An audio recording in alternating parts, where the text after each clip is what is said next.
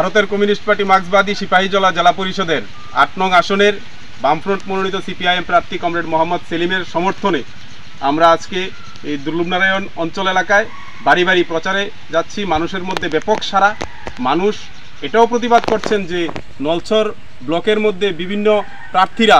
যখন নমিনেশন জমা দিতে চাইছিল, প্রার্থীরা দাঁড়িয়েছিল, কিন্তু সেখানে প্রার্থী জমা দিতে দেয়নি এই এলাকার বিধায়কের নেতৃত্বে গুন্ডা বাহিনীরা। আমরা জনগণ থেকে সাড়া পাচ্ছি যে আগামী দিনে এর মুখ্যম জবাব দেওয়ার জন্য এই এলাকার অঞ্চলের এই কনস্টিটিউয়েন্সির মধ্যে যারা মানুষ রয়েছেন, তারা ভোটের মাধ্যমে তাদেরকে জবাব দেবেন এবং এই রাজ্যের শান্তি, সম্প্রীতি এবং গণতন্ত্র যে হারিয়ে গেছে, সেটাকে পুনরুদ্ধারের জন্য মানুষ প্রতিজ্ঞাবদ্ধ হয়েছেন। তার জন্য আমরা মানুষ থেকে সেই সাড়া পাচ্ছি এবং বাড়ি বাড়ি যাচ্ছি সকল মানুষের সাথে ডোর টু ডোর ক্যাম্পেইন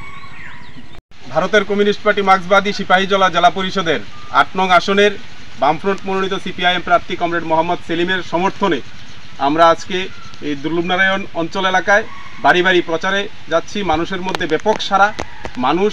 এটাও প্রতিবাদ করছেন যে নলছর ব্লকের মধ্যে বিভিন্ন প্রার্থীরা